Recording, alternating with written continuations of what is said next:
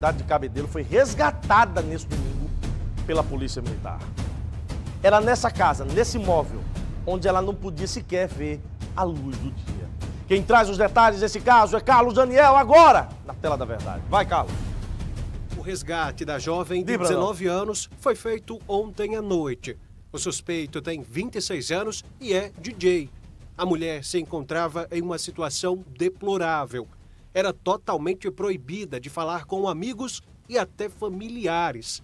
Não tinha celular e nenhuma outra forma de comunicação externa. Era em um quarto pequeno que ela vivia trancada. Do lado de fora, a residência mais parece uma prisão. Era nesta rua onde o casal morava, exatamente nesta residência aqui. Você perceba que é um muro não tão alto, mas aqui em cima tem esses garfos, esses grampos né, na proteção desta parede.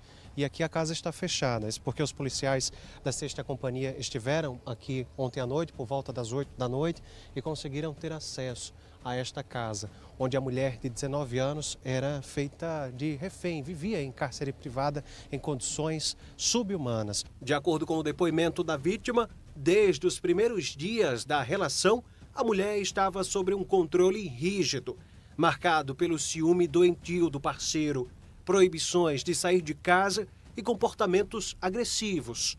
No bairro onde o casal morava, os vizinhos nem imaginavam que ali vivia um agressor. Ele disse que tinha terminado com ela. Aí de repente aconteceu isso ontem, sem saber de nada. Como vocês viam ele passando aqui na rua? Tinha características não, de um criminoso? Não mostrava nada. Parecia uma pessoa de bem. De bem. A jovem, a vítima, vocês viam aqui na rua? Não. De... Nunca viu? Não. Não.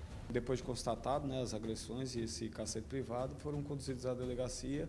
Ele ficou preso e ela agora está com a mãe, está né, tá em segurança com a mãe e, e o mesmo vai responder pelo crime. O suspeito, que não teve a identidade revelada pela polícia, não respondia a nenhum inquérito policial, mas agora deve responder por violência doméstica, tortura e cárcere privado.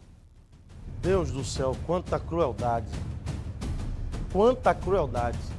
E essa é uma forma de matar aos poucos, né? A ex-companheira. A forma de matar aos poucos.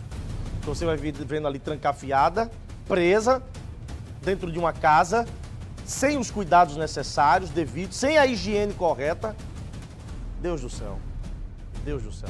Não é sequestro, tá, gente? Algumas pessoas eu vi falando sequestro. Não é sequestro. É cárcere privado mesmo. O termo certo é cárcere privado. Tá? Que ela estava numa, numa residência, no local onde ela conhecia. Sequestro, ela fosse levada para um cativeiro. Tá? Parabéns à polícia, viu?